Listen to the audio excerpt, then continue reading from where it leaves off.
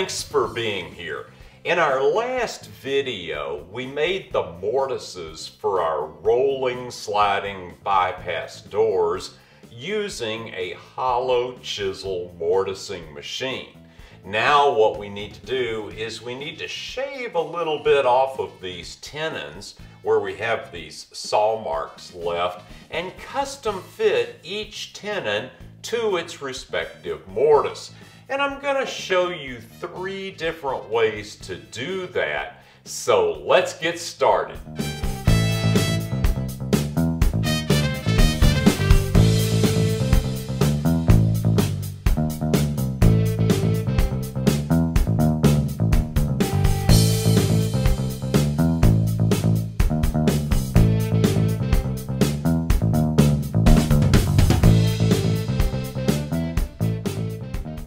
I had to set this project aside for a few days just to take care of a couple of other projects I've been working on.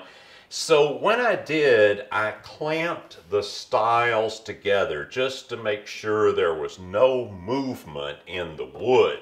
Now what I'm going to do now is I'm going to take these apart, take the clamps off, and I'm going to get things laid out. And the first thing that I want to do is I want to make absolutely certain that I've got everything marked exactly right. All right, so everything is marked and laid out still. The chalk marks have not worn off. So the first thing we want to do is start smoothing this tenon to fit into this mortise. This happens to be the top of the left-hand door. And the first method you might consider is using a shoulder plane. Now this is a Lie-Nielsen medium-sized shoulder plane, just a real joy to use, especially when it's sharp. And it will just go right along and shave those little saw marks right off. The advantage to this is that on a shoulder plane, the blade can be set so that it is level with the edge of the plane, meaning that when you take a stroke here, you'll get right up to the shoulder of the tenon. The disadvantage is, is that you've got to be kind of careful because this is not the full width of the tenon and you're going to have to make equal numbers of strokes so that your tenon width stays the same. But it works great. Another method of doing it is with this, which is called a skew block plane. Obviously it's skewed and it's a block plane. And you'll notice here it's open on the side so you can set the blade flush with this edge and also get right up to the tenon shoulder. And this is a real cool way to do it because you basically, at least on this tenon, get the full width of the tenon in each stroke. Now I'm not getting curls because I'm going cross grain and because we have those uh, saw blade marks, I'm getting more like little chips out of there. Well, there's some curls because it's starting to get pretty smooth. But this is a good way to do it as well.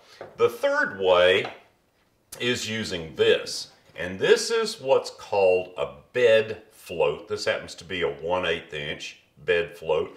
This also is from Lie-Nielsen, and it is really a lot of fun to use. You just push, this one happens to be a push, you can get them in a pull configuration as well, and you just push along and the thing just shaves off wood. Just, it's really very cool. And it leaves a very, very smooth, almost like a sanded surface. Now, this is not as wide as the tenon, but you can make your first stroke up next to the shoulder and then kind of sweep your second stroke off the end of the tenon and you can keep the tenon width the same the whole length. And this is a really good way to do this as well. And once you start to get it smooth and get those saw marks off there, you want to start fitting it and making sure you get a nice tight fit. And this is just about there. Still just a little bit tight. So we'll just work on this just a few minutes more with this bed float. By the way, a bed float is made for adjusting and fitting the bed of a wooden plane when you're building planes. But I find it useful for a whole lot of other things as well.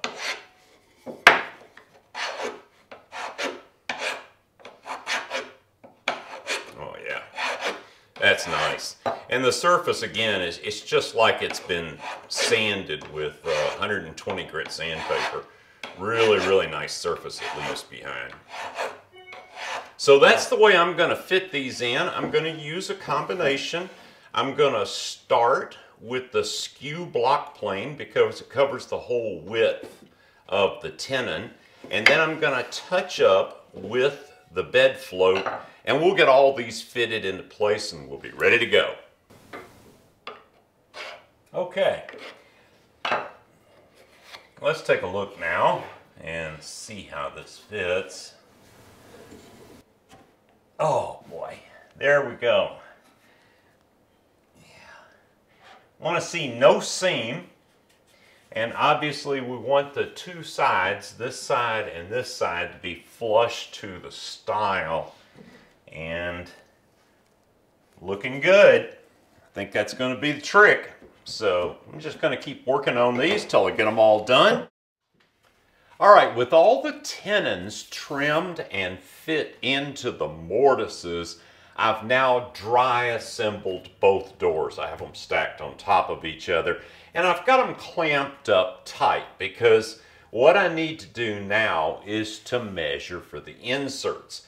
And I'm measuring for the inserts now because I'm going to order those pre-cut to exact size.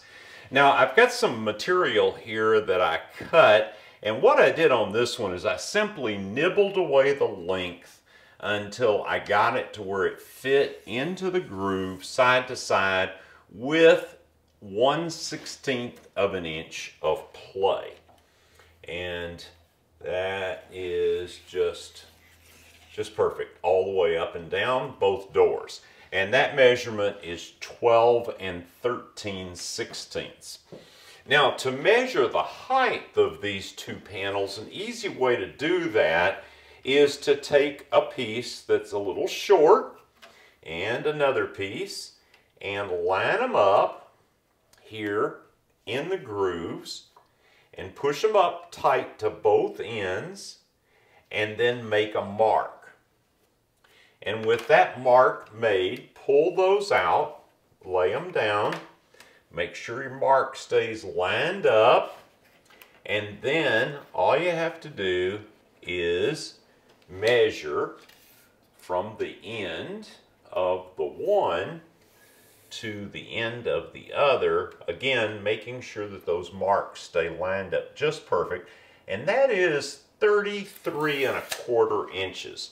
So I'm just going to note that on here, that that's 33 and a quarter, and that'll be the dimension of the top. The bottom one, I'm going to use these two short pieces here. I'm going to put one in the groove there, one in the groove here. I'm going to hold that tight. I'm going to make sure that I'm roughly parallel to the two stiles and I'm going to make a mark there. I'm going to pull that out and do the same thing. I'm going to measure from end to end with those two pieces held in registration where my mark was. And it just slipped on me a little bit. There we go. And that is 22 and 5 sixteenths. Now I'm going to take the 22 and 5 sixteenths and the 33 and a quarter and I'm going to reduce those two dimensions by a sixteenth of an inch and that'll give me the same wiggle room and space that I have in the side-to-side -side dimension. So I'm going to go get, that, get those uh, panels ordered right now before I forget it while I'm thinking about it. And then we're going to start attaching the hardware. All right, I got the plastic ordered. Now it's time to mark the locations for the hardware. And the first step I'm to do is to unclamp these doors and I want to turn each door over. Now this is the face. So I want to turn the door over and mark on the back side where the hardware is going to go. And roughly, the hardware will be going right along in here. And we just want to make sure that uh, we don't mess up and put that in the wrong place. So let's set this one aside. And we'll do the same thing over here on this door.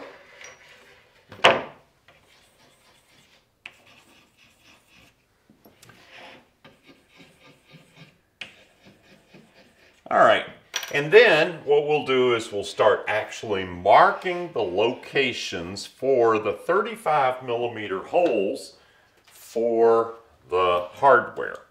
So let's go through how we're gonna mark that out.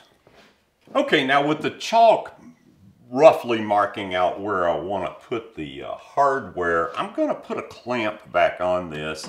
And the reason for putting a clamp on this is merely to draw the mortise and tenon together so that I get the dimensions correct. If you recall from our first video, we determined that to get the flat on this hardware even with the edge of the rail, we needed to be just a smidge over a half an inch. So I've got my combination square set at a half an inch and the width of the pencil lead will make that just right. What we need to determine though is how far in from the edges to put this. If we put them too narrow, too close together, the door might rock. If I put it out here, there is an extremely rare but off chance we could split the stile and if I get it too close here it's going to mess up the joinery. So I've kind of determined that about four inches in is going to be about right. So the first thing that I want to do is I want to come in at four inches and make a mark. And we'll just Put a mark here at four inches. And then what we'll do is we'll use a combination square just to extend. I gotta take my glasses off so I can see up close. We'll just make a mark here to extend that across, just like that. Then, with this combination square set at exactly a half an inch, I'll make a mark that goes across across that mark and where those two lines intersect will be the center of the 35 millimeter hole for mounting this hardware. I'm going to do that on the doors on all the end rails, top and bottom, and then we'll go to the drill press and drill these holes out. All right, I've got my first rail here ready to go, but uh, before I do that, I've got this test piece and I've made a mark the same distance down from the edge, just like on the real rail. And I want to drill a test hole, and the reason I want to drill that test hole is to make sure I've got the depth just right. Now, this particular drill press has a laser crosshair on it, which is, for all intents and purposes, just about good for nothing, but it'll kind of get you within a dime-sized circle, uh, maybe a little better than that. But what I like to do is I like to bring the drill bit down to where it's almost in contact with the workpiece and then just visually get the thing lined up perfect. Now a little bit about the drill bit. the uh, hardware calls for 35 millimeter holes and I've got a 35 millimeter bit but it's tied up in another project right now. This is a 1 and 3 eighths inch bit and it's just one of those uh, little funny things that 1 and 3 eighths inch and 35 millimeter are essentially interchangeable. They're so close that uh, it makes little difference in the final analysis of things. Just want to make sure I got this just right. Okay, yep, we're good there. So, sorry my hand is in the way, but I'm left-handed. There's not much I can do about it.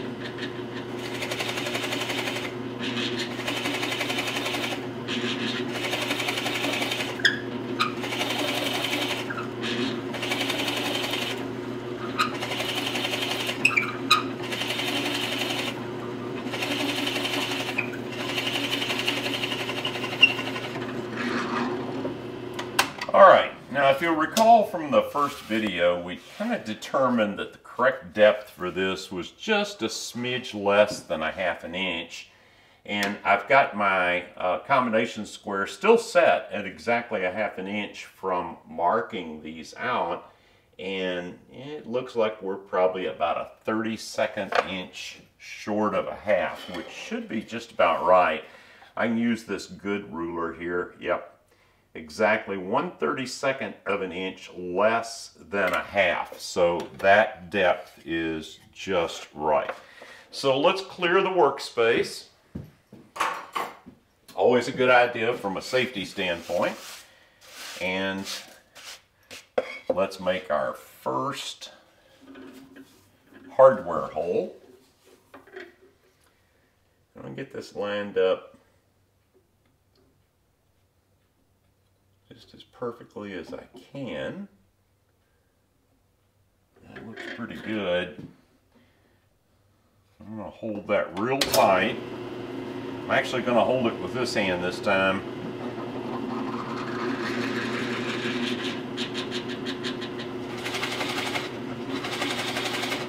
I found with these Forstner bits, if you just take a little bit, back off, take a little bit, back off, you can actually uh, keep a bit cooler and get a little cleaner cut.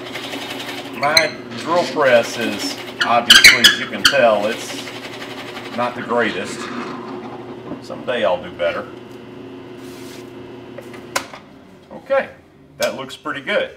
Now, you may wonder why I'm cutting the uh, holes for the hardware before assembling the door, and it's really simple. The reason is, is because once the door is assembled, I would be having to hang the door off the back of the drill press and it would just be a lot more difficult doing the positioning. So this is easier, do it beforehand, and uh, hope for the best.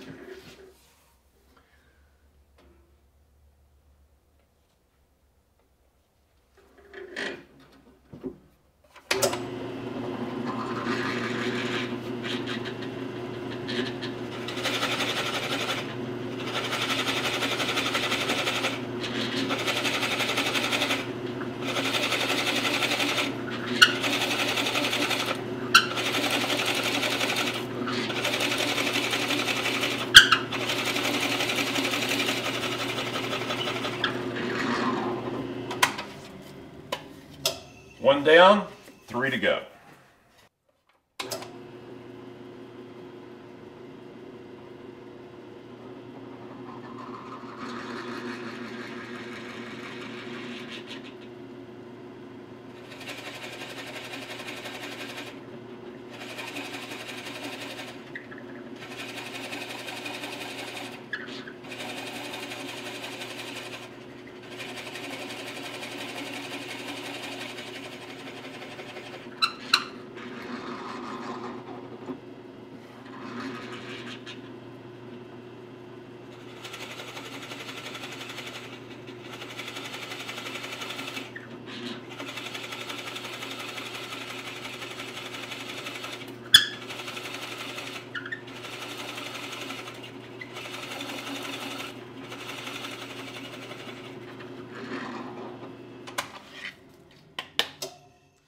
Well, that's about all we can do for right now because I'm waiting on those pre-cut plastic panels to come in. But in the next video, we'll install those plastic panels, we'll glue up the doors, we'll install the hardware, put some finish on, and then go install them in that linen cubby and we'll see how they work. I look forward to seeing you in that next video and thank you so much for watching this one.